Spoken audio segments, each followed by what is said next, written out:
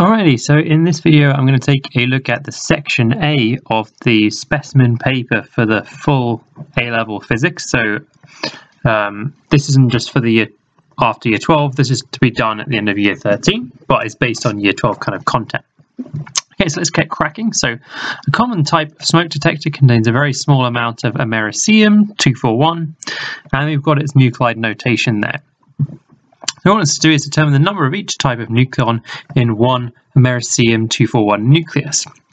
Um, so the proton number of proton is easy, uh, it's just 95, uh, so let's get that one first. Okay, so we've got that down there. Next we need to work out the number of neutrons, so we're going to do the nucleon number minus the number of protons, that should give us the number of neutrons. So that's what we've got here. We've calculated the number of neutrons by doing the difference between nucleon number and proton number, 146. So that's our second type of nucleon involved. Let's carry on. Okay, americium-241 is produced in nuclear reactors through the decay of plutonium-241 and that's got a, a, uh, proton number of 94. So we can see that the proton number increases by 1, but the atomic number stays the same. State the decay process responsible for the production of americium-241, explaining your answer. Um, so firstly, we if the nucleon number stays the same but proton number changes, that's going to indicate some sort of beta decay. And if you increase the proton number, that tells you it's beta minus decay because a neutron has turned into a proton. Okay, so um, we know it's a beta minus decay. So that's the stating part of it. Um, is, so the first thing I said is because the nucleon number stays the same.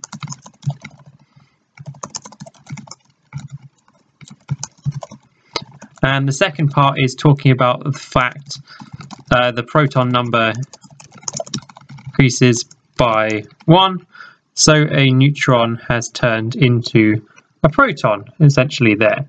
And that would be your answer to this question there. Okay, so let's move on to the next question. So we've got Americium-241 decays into nuclide X by emitting an alpha particle. Write the equation for this decay and determine the proton number and nucleon number of X. So let's first put americium down. So americium 241 95. Uh, I'm pretty sure it's AM. And then what we're going to do is it's going to lose four nucleons two, three, seven. It's going to lose two protons, so that's 93. Leaving us with, it said nuclide X, whatever that is. And then we have an alpha particle or a helium nucleus also being produced there. And so uh, it says it wants us to specifically identify its nucleon number. Well, that's 237. It says it specifically wants its proton number. Well, that is 93 because it's lost four nucleons and two protons there. Hopefully nice and straightforward. Okay, so let's continue on. Alpha radiation is produced by americium-241, causes the ionization of nitrogen and oxygen molecules in the smoke detector. Explain what is meant by ionization. So uh, to ionize something, you can remove electrons from it. In theory, you can add electrons to things as well, but typically, uh, it's in the certainly in particle physics, it will be the removal of electrons.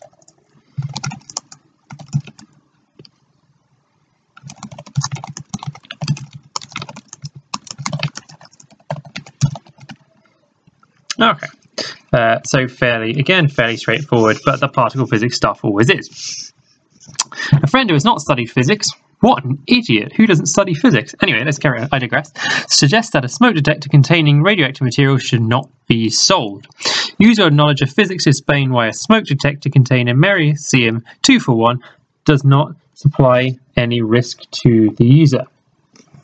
So, um, alpha radiation is only dangerous if you either inhale it or ingest it. Smoke detectors are way up on the ceiling, and you'll, I'd say at most times, the closest you get is about a meter from your smoke detector. Alpha has a range of a few centimeters, so that's not going to be uh, a problem. And frankly, your smoke detector doesn't contain that much alpha radiation anyway. So let's put those two things down. Alrighty, so we've got that there. Um, that should finish off question one. Let's move on. Alrighty, so moving on to question two, we're now looking at uh, force versus extension, so some materials kind of stuff. So they're going to add a series of masses to a vertical metal wire, so we're like just hanging them on the end. We've got a circular cross-section area, and we're looking at the extension, or how the force of the mass changes the extension. Okay. So the first thing he wants us to do is mark on the point P, the limit beyond which Hooke's law is no longer obeyed. So uh, for those of you who don't remember, Hooke's law is that force and extension are directly proportional up to the limit of proportionality. So essentially, that law ends when it stops being a straight line. Um, so we're going to have a point somewhere around about this point here. That's where it stops being a straight line. Okay, outline how the student can use these results and other measurements to determine the Young modulus of the wire. So let's first work out what the gradient of the graph represents. So I'll just do that over here on the left-hand side. Uh, so Young modulus is stress over strain. Uh, stress is force divided by area. Strain is extension, so I'll call that x, uh, divided by original length, so that goes up there. So on the graph, we've got force on the y-axis, so let's make force the subject. And we've got extension is our x, and then everything else is going to be the gradient of it. So uh, that's going to be the Young modulus times the cross-sectional area divided by the original length. Uh, so all of this is the gradient, and then the force is your y variable, and x is x. Um, so that's why we've got a straight line graph going through the origin. So in terms of using these results, what we're going to need to do, we're going to need to measure the cross-sectional area using a micrometer. We need to measure the original length using a meter ruler. We're going to need to determine the gradient of the graph and then multiply the gradient by the length, divide by the area, and that will give us the Young modulus. Alrighty, so um, let's get that done.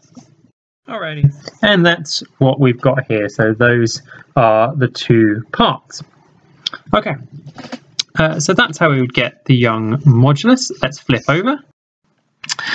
Alright, so the next question wants us to draw on the graph what would happen when we unload the wire. Uh, so that's what I've sketched over here, uh, just rather than flipping back and forth. Uh, what you'd have is the blue is the original line, the red line is the new line, what will happen as you unload it. So you should see it leaves a permanent deformation and the straight line should be parallel to the straight line section of the original graph. In terms of y, uh, we've broken some of the bonds in the material because we applied a very large force to it. So that's why we get a permanent deformation, but we still got the same bonds, which so they're going to apply the same force. So it's going to react and extend in the same way as before. That's why we get it being parallel. So let's get that down. All right, so that's what we've got there. Ah, whoops. Um, so that's the shape of our graph. Let's continue down. So the metal wire is used to make a cable of diameter 6 millimeters. The Young modulus is 2.0 times 10 to the 11. Calculate the force necessary to produce a strain of 20% in the cable. So we can calculate the stress. Stress is equal to the Young modulus times the strain. Uh, so that's going to be uh, 0.2. We need to convert that back into a fraction, so 0.2 times 100, and then times it by the Young modulus. 10 to the 11, and that comes out as uh, 4 times 10 to the 8 uh, pascals, that's right, that is. And we should know that stress is force divided by area. So force is going to be uh, stress times area, so 4 times 10 to the 8 times by 6 times 10 to the minus 3, because it's 6 millimeters, squared times pi divided by 4, because we want the area, we've got the diameter. And when we do that, uh, let's grab the old calculator. When we do that, we get 11,309. Uh, so let's give that two significant figures, which would be appropriate. So 1.1 times 10 to the 4 newtons would be your final answer there. All right. Um, the cable is used in a crane to lift a mass of 600 kilograms. Determine the maximum acceleration with which the mass can be lifted if the strain in the cable is not to exceed this. So we know the maximum force on the cable can be 11,309. So what we need to do um, is so the maximum resultant force we can provide is going to be the um, 11,309 minus the weight force of the object. So 600 times 9.81 and that gives us an overall force. Let's do that now. So minus 600 times 9.81 and that gives us a value of 5,423 yada yada yada Acceleration is force divided by mass. So that's that 5,400 uh, and 23 blah blah blah divided by 600 giving us a value of uh, it's 9.039 so uh, 9.0 meters per second squared gives us acceleration.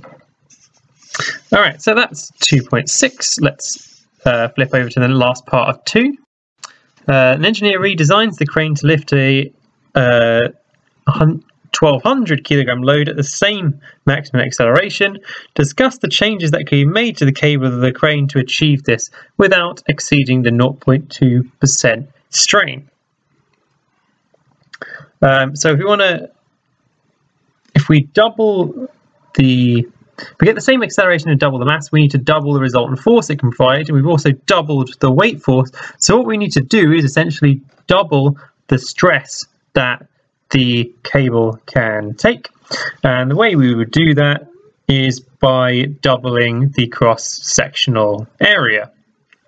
And the other thing you could do is then uh, instead of doubling the area, you could double the Young modulus. So again, for the same stretch, you got half the strain. So those would be your two things there. So let's get those down. So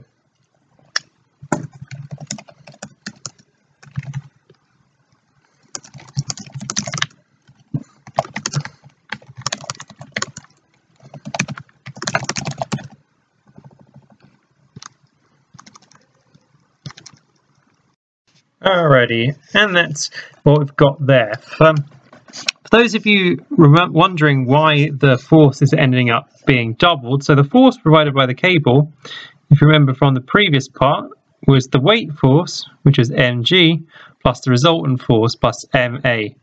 So if you double the mass of the object, you essentially double the force the cable has to take. And so what I'm saying here is to keep the stress the same, what you could do is you could double the cross-sectional area. Or if your stress doubles, you could have uh, double the Young modulus, so you only get uh, the same strain overall there. Um, either of those two things would give you what you want. All right, so that finishes question two. Let's carry on. And what we have here is a very tasty looking circuitry question. So we've got some uh, cells with no internal resistance, and we've got currents in the direction shown by the arrows, so you can see those on the diagram. And we've got R1, uh, which is up here, is a variable resistor with a resistance that varies between 0 and 10. Write down the relationship between currents I1, I2 and I3. So this is using Kirchhoff's current law. Um, so the sum of the currents entering a junction is equal to the sum of them leaving. So the total entering uh, the junction I'm going to look at is this one up here at the top. So entering it is I1 and I2. They're both going in, and I3 is coming out. So you must have this relationship here, which is essentially an expression of conservation of charge. So every charge that goes in has to come out, is what that's saying. So R1 is adjusted until it has a value of 0 ohms. State the potential difference across R3.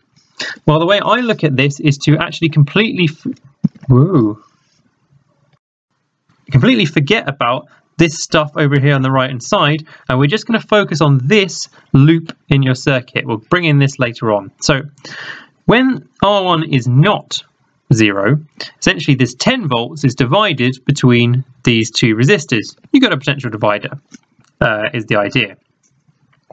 So when R1 becomes zero, the 10 volts is no longer divided between two, the 10 volts is just across this one. So that would make the potential difference across R3 10 volts. There.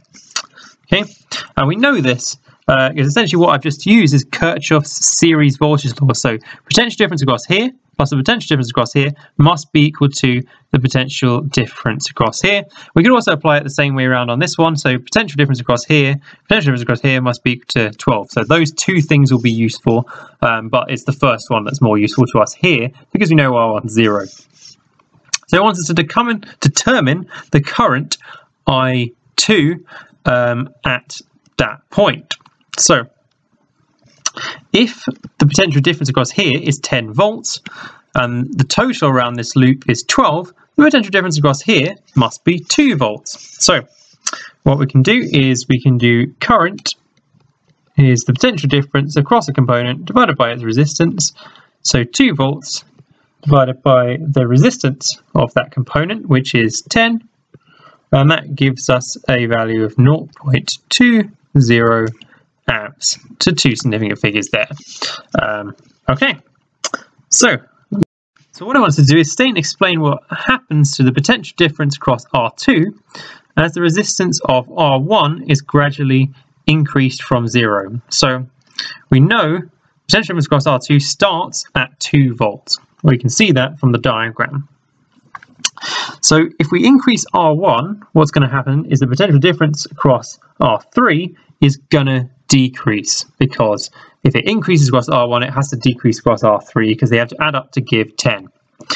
And if the potential difference across R3 decreases, that means the potential difference across R2 must increase because the potential difference across R3 plus the potential difference across R2 must add together to give 12. So what's going to happen is it's going to increase, so that's stating what's going to happen, and then we'll put what I've just said into text now. All right, so that's what we've got there. Um, you shouldn't use this shorthand in your answer, um, but it's just quicker for me to do it on here. Where I've written PD1, what I mean is the potential difference across resistor 1, uh, etc. So what I've done is essentially I've used Ohm's law to explain what happens to PD1. I've used Kirchhoff's series law to explain what happens to PD3, and then the series law to the other side of the circuit to look at what happens to PD2. Um, so that's what's going on there and that's why PD across 2 increases. Uh, good, good circuitry question one, that's really nice. Okay, so the speed of an air rifle pellet is measured by firing it into a wooden block su suspended from a rigid support, but the whole system can swing freely at the end on a string. This whole setup, incidentally, is called a ballistic pendulum. Um, just for those who want to go find out a bit more about how this works. Um, so essentially what you can see here, the pellet comes in, collides with the block and transfers its kinetic energy and momentum to the block bullet system. And you can see what happens is it causes the block to rise by a, a displacement of 0.63 meters. So we've got an increase in GPE. A pellet of mass 8.8 grams strikes a stationary block and is completely embedded in it. The center of mass of the block rises by 0.63 meters and the wooden block has a mass of 450 grams. Determine the speed of the pellet when it strikes the wooden block. So when uh, the pellet strikes, it has kinetic energy and in this system that's transferred to GPE. That's the general idea behind what's going on. So let's work out the GPE of the block afterwards. Uh, that's mg delta h Uh, so the mass is 4, uh, let's convert it to kilograms actually, so 0.44588. Oh god, this pen is horrific. Uh, that's its mass because it's the pellet and the block combined, times 9.81 times by 0.63. Uh, so let's calculate that first of all. So 0.54588 times 9.81 times 0.63 uh, gives you um, a value, and we do that of 2.8355, whatever. So that must be the kinetic energy of the block once the bullet's collided with it, because we can't be losing energy while it's swinging up. So that must be equal to the combined kinetic energy of the block. Uh,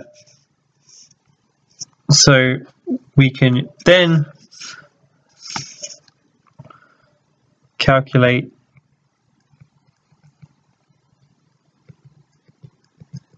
the kinetic energy. So what we're going to do is times it by 2, divided by the mass. Uh, let's square root the whole thing.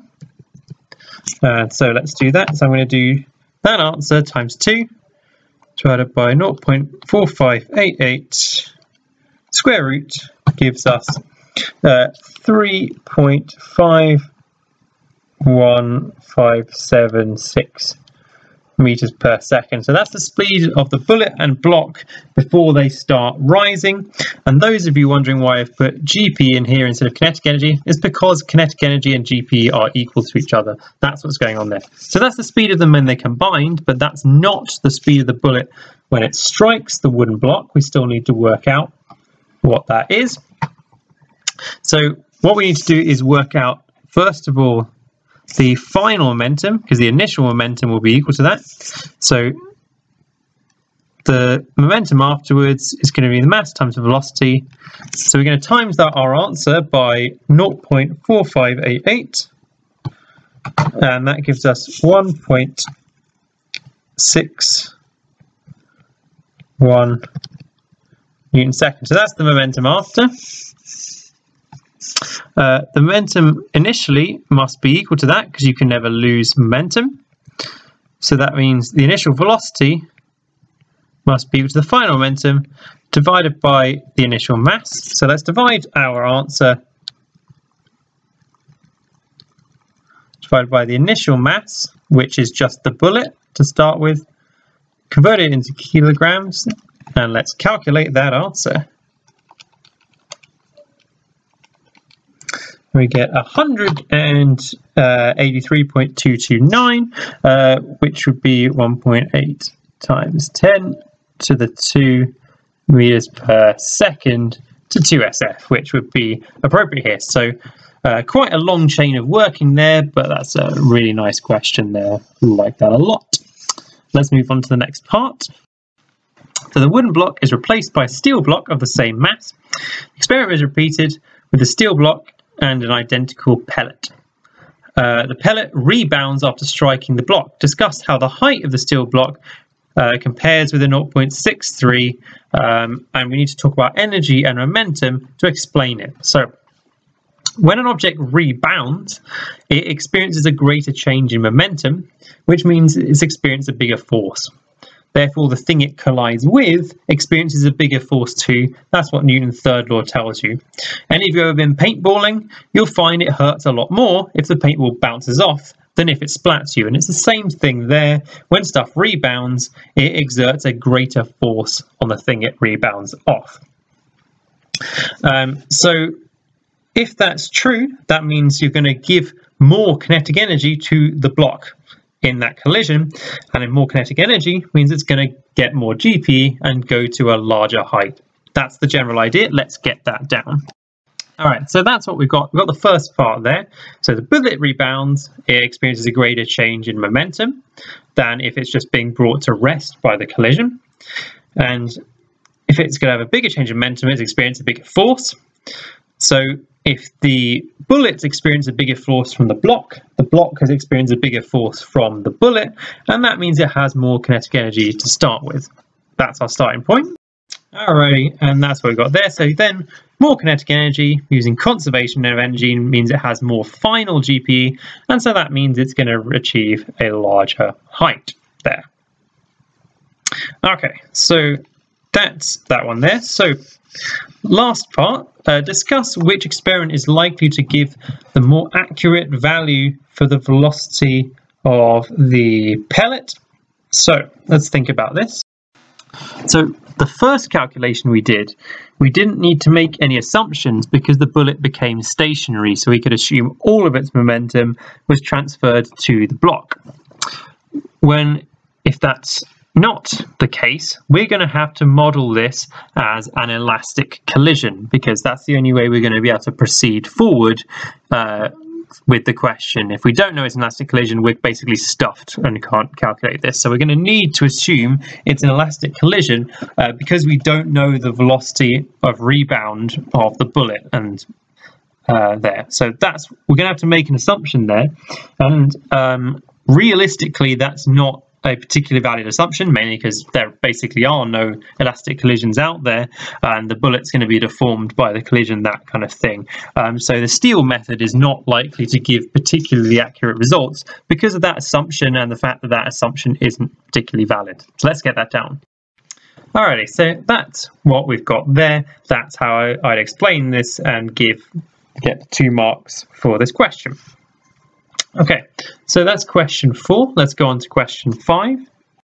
Uh, so question five, describe the structure of a step index optical fiber outlining the purpose of a core and the cladding. So uh, the core is where the light or whatever, sometimes ultraviolet, sometimes infrared, actually travel. So they would travel inside the core. And the cladding is there to protect the core and also its lower refractive index to ensure that the total internal reflection occurs, uh, and so the light doesn't leave the core. So let's get that down. Alrighty, so that's what we've got there. Um, Alright, so that's the general structure. I'm not sure why we had so much space. I guess we could have uh, drawn it if we wanted to. Never mind. Alright, so a signal is transmitted along a 1.2 kilometer length um, we've got a square pulse of white light uh, that's going along the center of a fiber.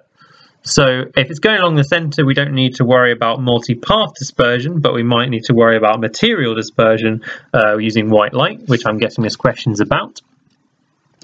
So we've got the refractive index and the wavelength of the two most extreme wavelengths, so blue and red. Explain how the difference in refractive index results in a change in the pulse of white light by the time it leaves the fiber. So essentially, if you have a higher refractive index, that means you are traveling slower because refractive index is the ratio of speed of light in a vacuum and the speed of light in the material. So uh, blue, you can see, has a higher refractive index, which means it's traveling slower than red. So that's going to make the pulse we've sent down undergo what's called pulse broadening. Um, so essentially that's what's going on. Let's, let's write that down. All right, and that's what we've got there. So that's why we get a broader um, pulse because of the slightly different times it takes them to reach the end.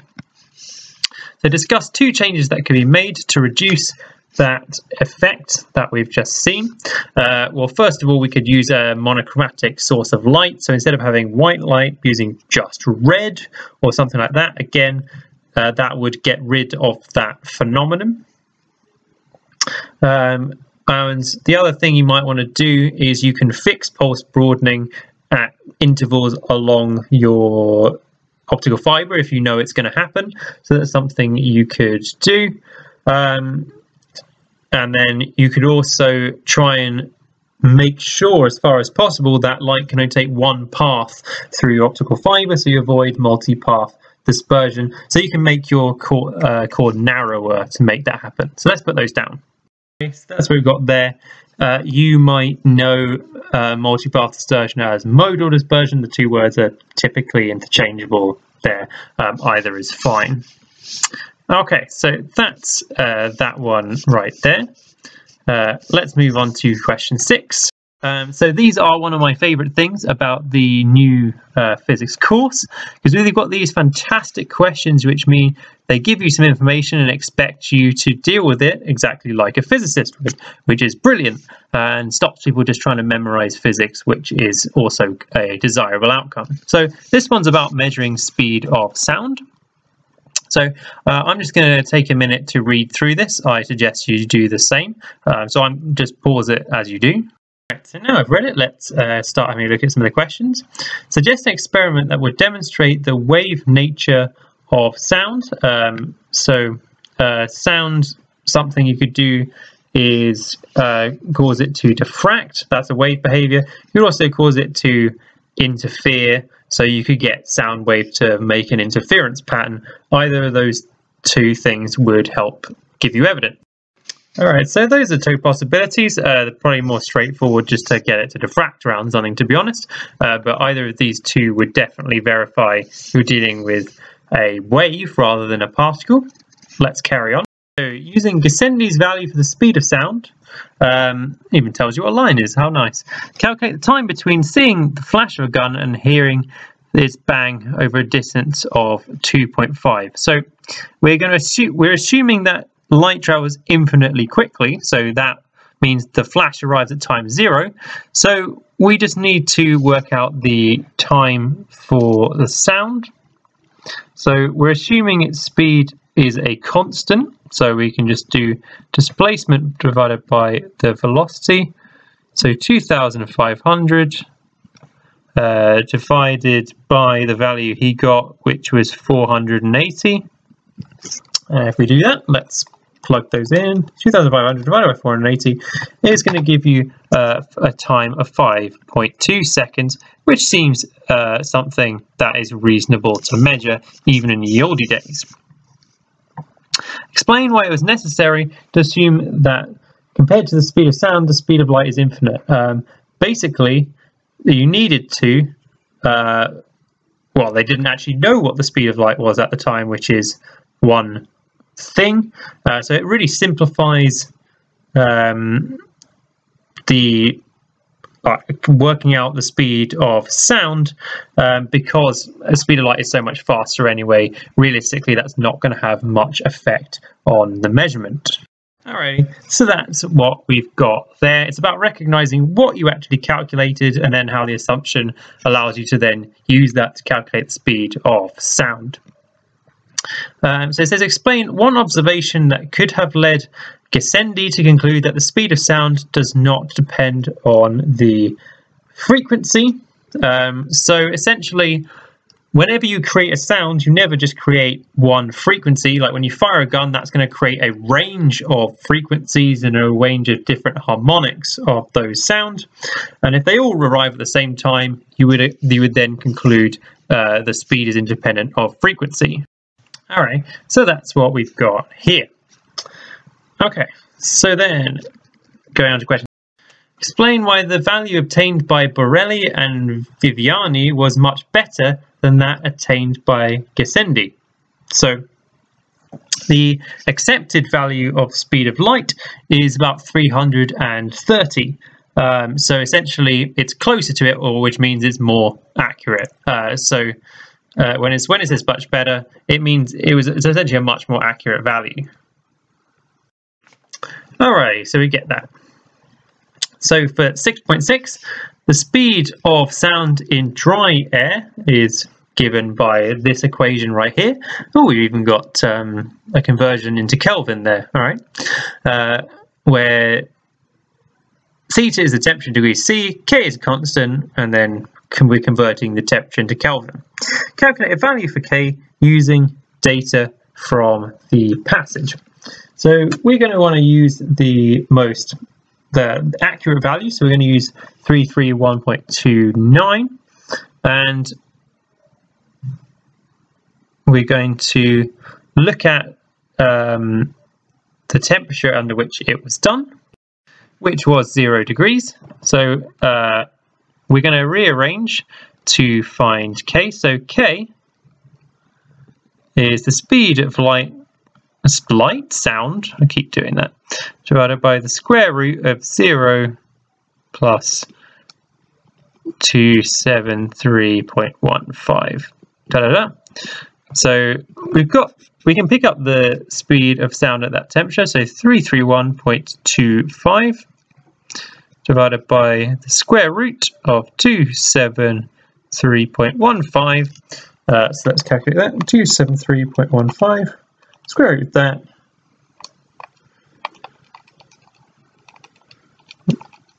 gives us 16.5 something. 331.25 divided by that answer gives us 20.045, which would be an appropriate number of uh, 20.043 to five significant figures, which would be appropriate because both of these numbers here are five significant figures.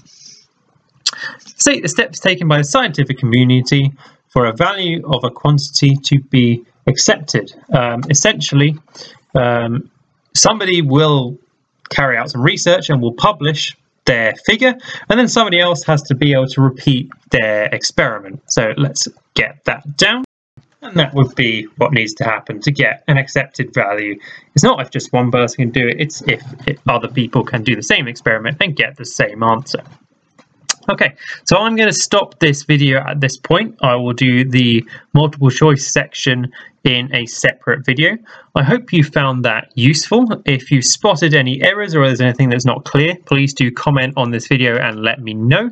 I can usually clear those things up. Uh, but thank you for taking the time for watching and I hope you found that useful.